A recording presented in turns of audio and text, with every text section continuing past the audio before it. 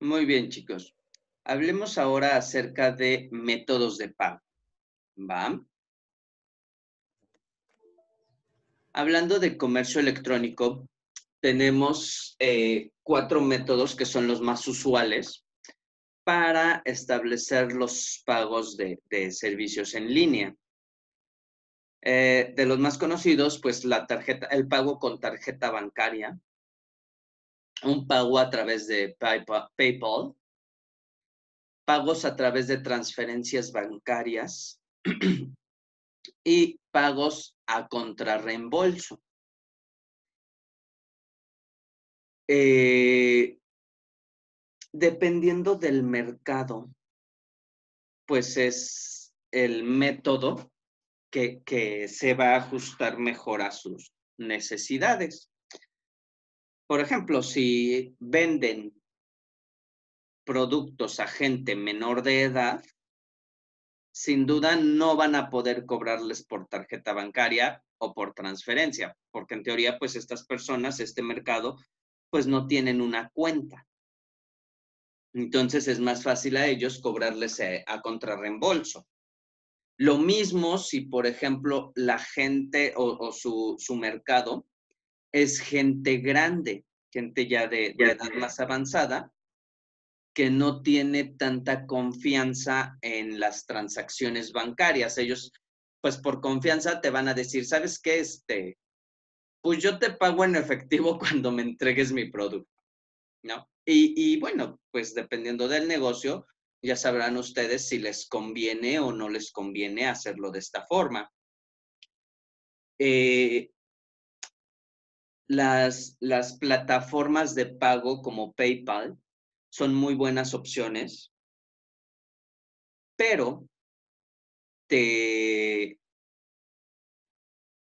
te, muestran una, una cara no muy agradable porque la forma en la que ellos te cobran es con base en comisiones.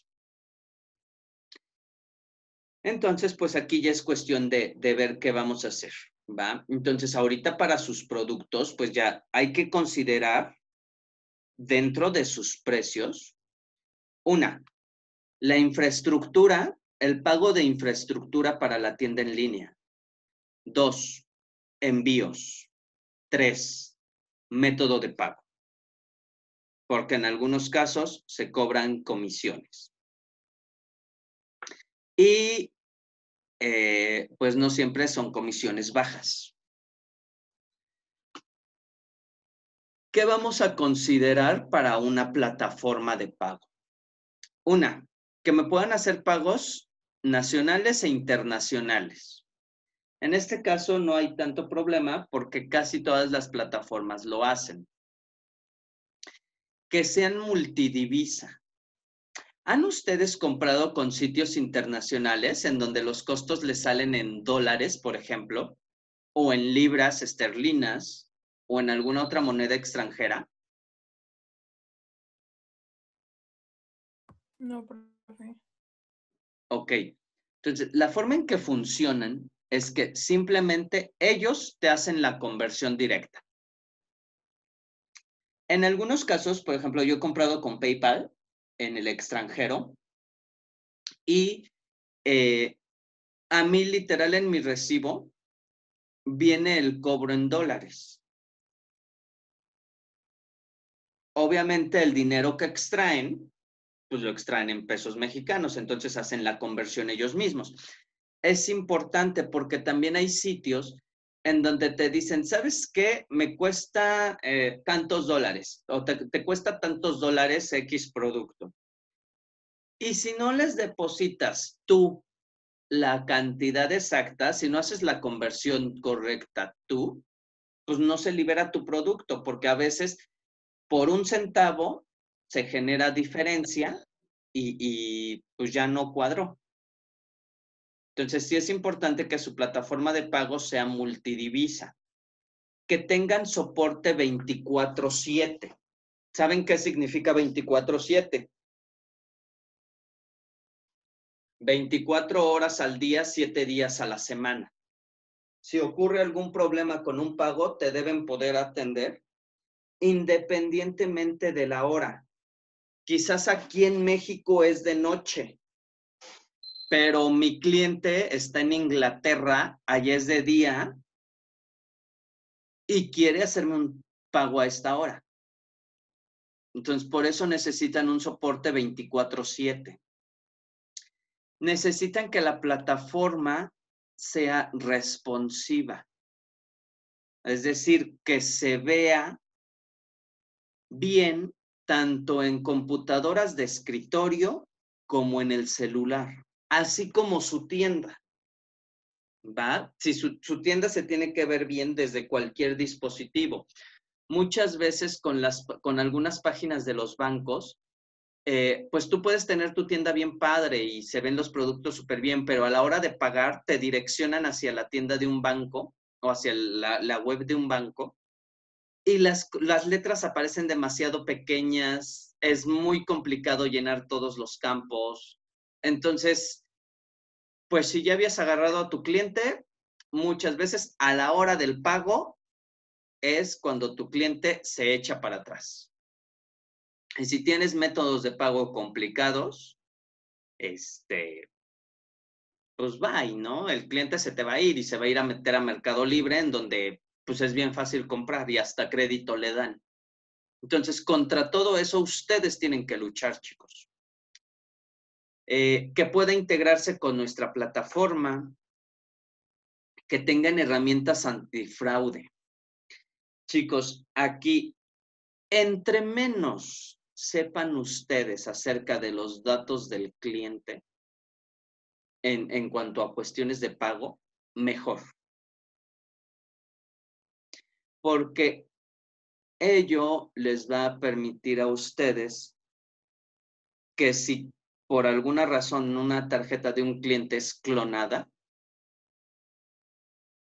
no, no, no, no recaiga en ustedes la responsabilidad legal.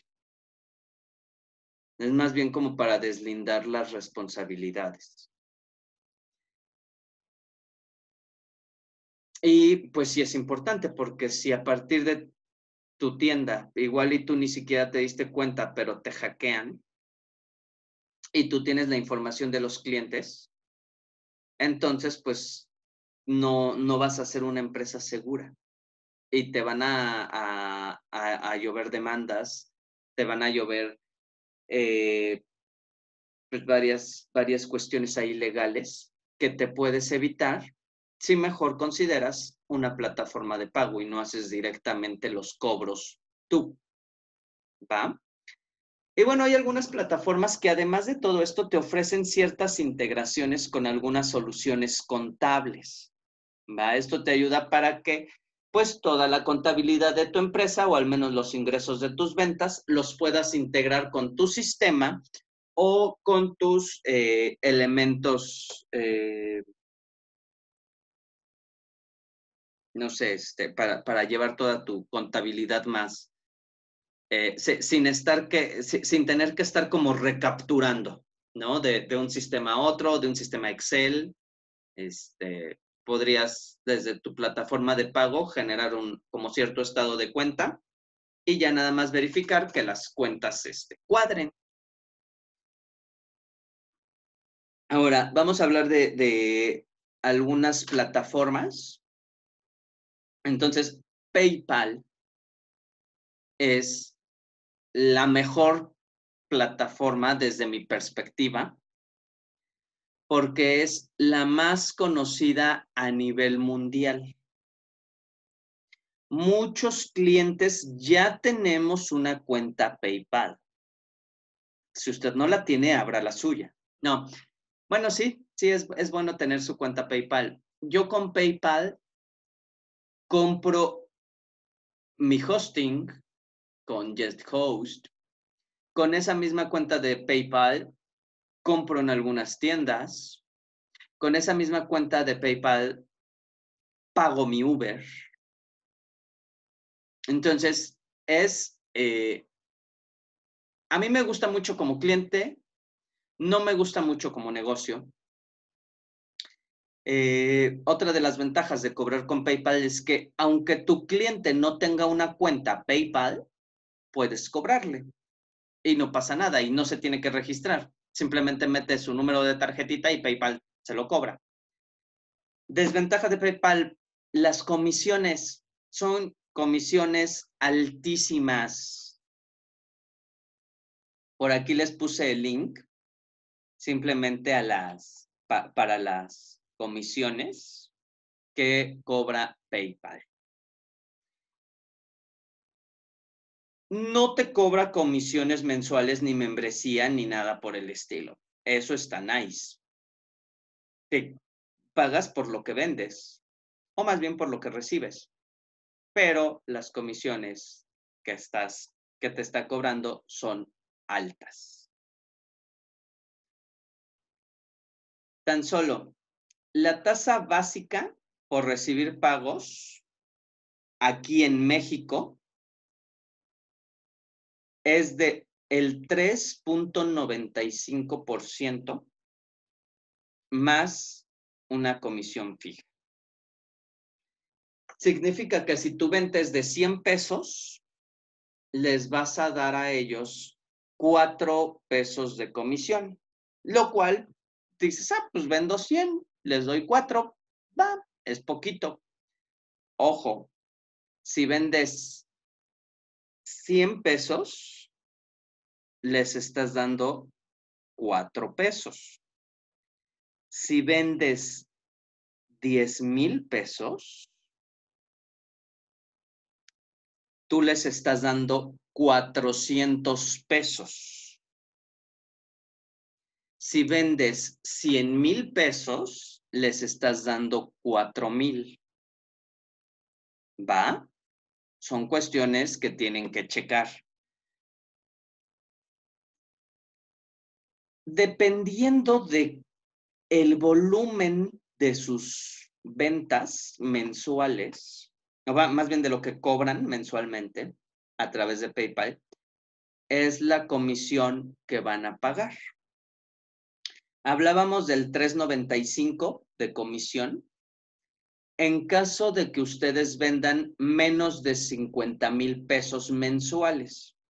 Si venden entre 50 mil y 250 mil, la comisión baja al 365. Y así va bajando hasta que llega al 295 cuando venden más de un millón de, de pesos. Entonces, este, la verdad es que las comisiones sí son altas. Los beneficios son buenísimos. Me encantan, pero las comisiones sí son altas.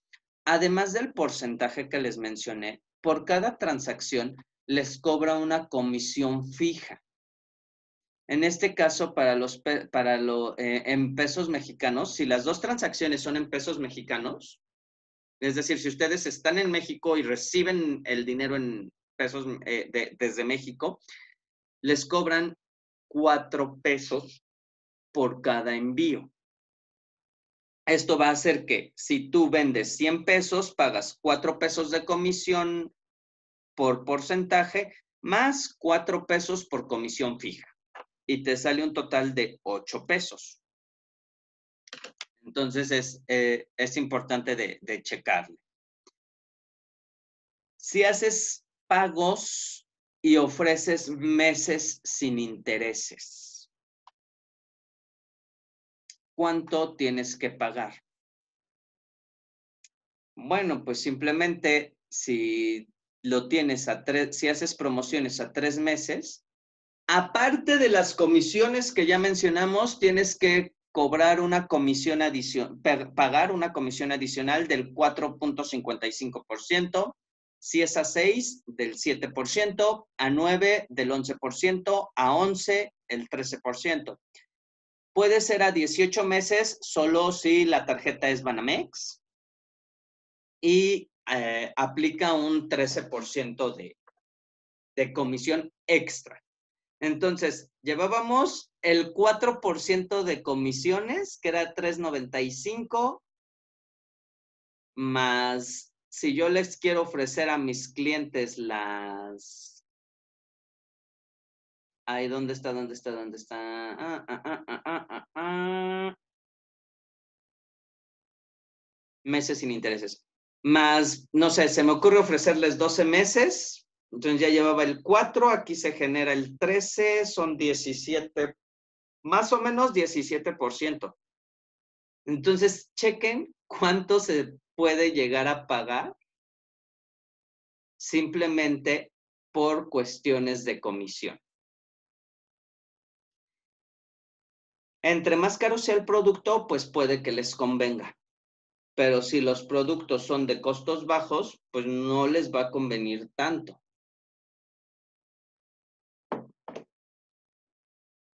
¿Va?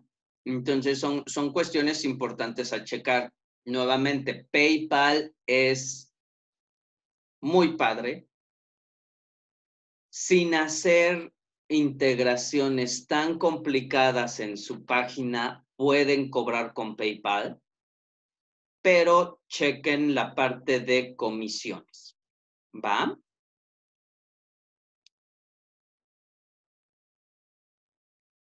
Ahora, otras opciones.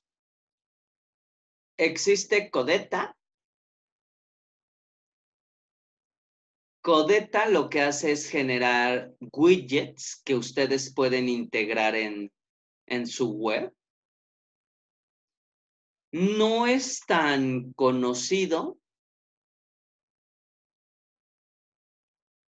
Eh, pues sí es como de, de checarle por ahí bien para ver qué, este, si les conviene. Les digo, la ventaja es que aquí ustedes pueden crear widgets y con cada widget pues ya van haciendo sus, sus cobros. Eh, la situación con Codeta es que ellos te cobran en euros. Es, es una empresa, este, no, no recuerdo si española, me parece que sí. Y te cobran con base eh, ya sea en los widgets que estás creando y en las transacciones. Una, te, cobran una suscripción, por ejemplo, aquí de, de 10 o de 30 euros. Eh, esta suscripción te va a permitir crear cierta cantidad de widgets. Y aparte, por cada cobro que tú haces, te van a cobrar una comisión. Entonces, aquí con ellos la comisión es del 2.5%. Eh, plantean una comisión mínima, ojo. Entonces, o el 2.5% o, o el 12 o, o punto 12 euros. Entonces, aquí es importante checar de cuánto van a ser sus ventas para ver si les, si les conviene. Sin duda, este 2.5% suena muy atractivo en comparación contra el 4% que les está cobrando PayPal. Nuevamente, Codeta no es tan conocido en Latinoamérica. Entonces, eh, eso puede generar desconfianza para con el cliente. Con PayPal, están comprando todo el paquete paquete que incluye confianza porque es más conocido, paquete que, que incluye facilidades para integrarlo en su tienda electrónica. Eh, pero pues toda, todo, todas estas prestaciones pues tienen un precio, ¿no?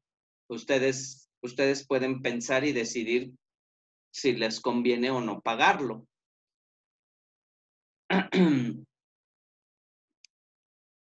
Ahora, está también la opción de Stripe. Ay, qué menso. Aquí está. Stripe.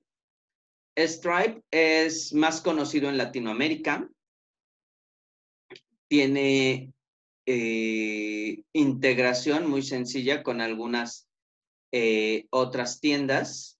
Tiene como clientes a Rappi, Zoom, Corner, Google, Amazon, Cyclo, em, Shopify y Mascota.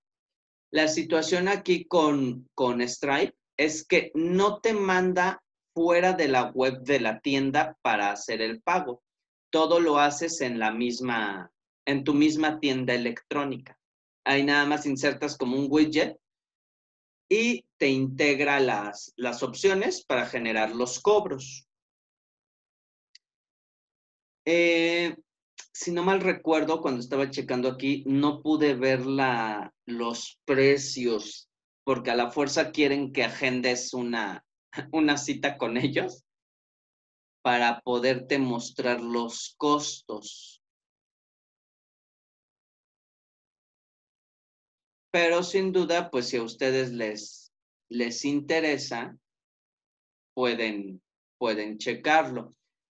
Eh, es un poquito más complicado de integrar, pero pues ellos mismos les, les ofrecen las, las opciones para ayudarles a, integrarlo dentro de su web. Ah.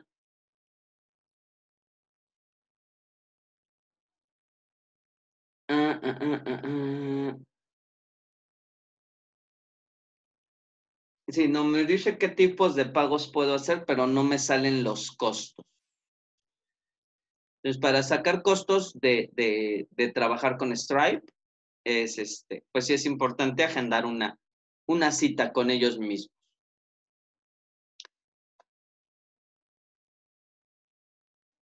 Otras opciones. Esta opción, OpenPay, es una opción desarrollada por BBV, eh, como ustedes sabrán, pues es una, una, una em, cadena de, empresas financieras, bancarias, aquí en, en especial en, México, en Latinoamérica y eh, en España. Es el, el, banco, este, Bancomer, ¿no? Bancomer, Banamex, Bancomer. Eh, pues también aquí pueden hacer, hacer distintos cobros. Entonces, la, ventaja de usar OpenPay es que pueden recibir pagos desde tarjetas de débito y de crédito, transferencias bancarias que, pasan al momento, eh, o pueden hacer pagos eh, en sucursales. ¿Va? Obviamente, al ser una opción de pago por parte de BBVA, necesitan como requisito tener una cuenta con dicho banco. Aquí la integración pues es un poco más, más complicada, no están hablando de, PayPal, pero también podría llegar a ser una opción para ustedes. Y aquí igual no, no muestra los, los cobros o comisiones que te están, que, que están cobrándote. Necesitaríamos abrir la cuenta para empezar a, a cobrar.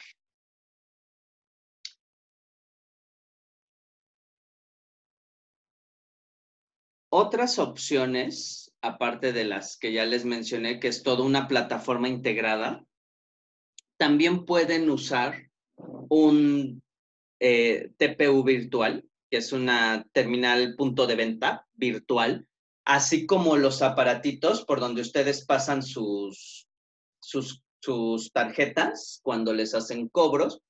Normalmente este servicio te lo ofrece tu banco eh, y lo que se hace es que desde tu tienda direccionas al cliente al, banco y ya si el pago pasa, pues ya te, te regresan a la, a la página. Si el pago no pasa, pues ya te dice que la tarjeta no, no funcionó. Este es un método de pago que, por ejemplo, tiene implementado eh, CFE, si no mal recuerdo es un, una, una opción que la verdad, chicos, no, no recomiendo tanto porque a veces genera ciertos errores. Y el cliente pues no sabe ni qué onda. Yo, por ejemplo, cuando quiero pagar aquí CFE, cuando voy a hacer mi pago en línea, me direcciona a la página de Santander. Mi tarjeta es HSBC. Entonces, cuando yo hago el pago, siempre me sale que hay un problema con mi número telefónico.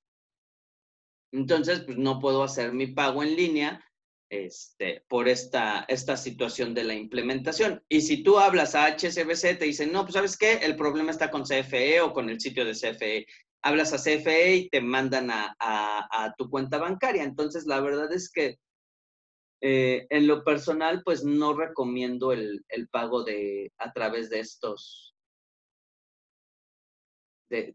medios. Creo que ahorita no nos va a dejar ver esa integración porque todos mis recibos los, los tengo pagados.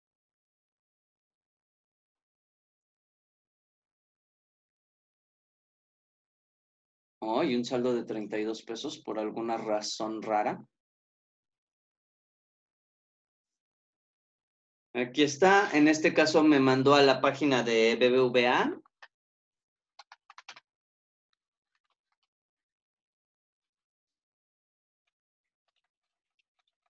Este, no puedo meter mi tarjeta aquí porque se ven todos los dígitos. Ah, no es cierto, dice número telefónico.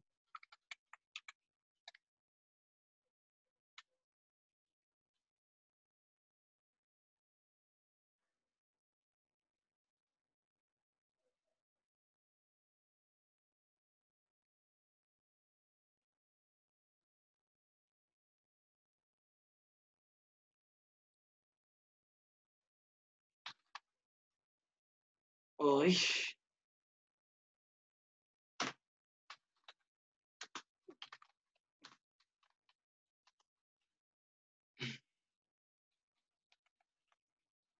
Mm, igual no puedo meter mi número de tarjeta porque aparece, se, ven todos los números, entonces no es como muy confiable.